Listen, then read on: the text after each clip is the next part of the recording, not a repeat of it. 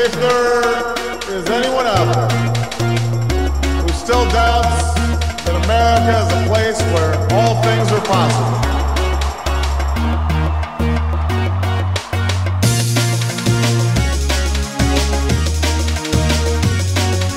the dream of our founders is alive in our time.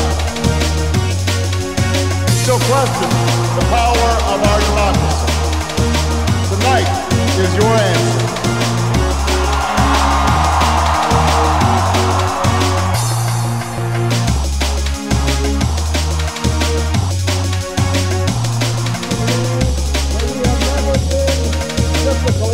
Of individuals or a collection of red states and blue states.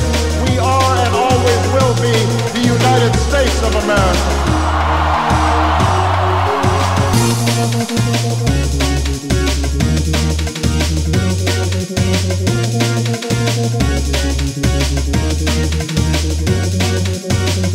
As Lincoln said to a nation far more divided than ours, we are not enemies, but friends.